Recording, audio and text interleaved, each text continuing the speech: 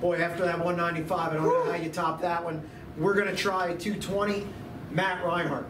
How long does it take him to, to pin through the top half of the bracket? I mean, this guy has like I don't know what nine, ten pins in under under two minutes. He's a pinning machine. That kid. I think he faces Leo Higgins. Higgins gets past Brubaker. Watch Brad Drabenstadt. Those CV wrestlers very tested. Think Higgins gets past Drabenstadt though. I think we see Reinhardt beat Drabenstadt in the semifinals to get to the finals.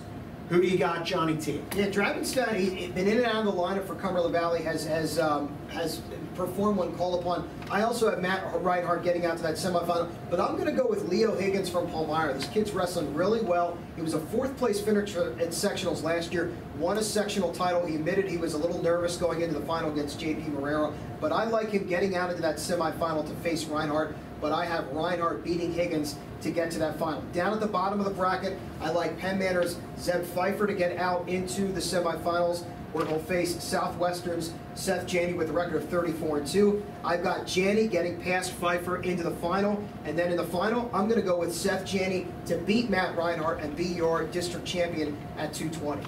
I can't disagree with you. I'm looking, what a tough match. I like Spencer Gallitz a lot, but boy, drawing Zeb Pfeiffer in the first round, that's tough.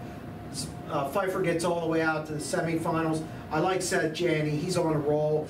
Uh, I think he gets out here, beats Zeb Pfeiffer, gets to the finals, beats Reinhardt's just too much. And as a sophomore, very good. I think he beat Omar Haddad earlier this year, gets out, out to the finals and wins it.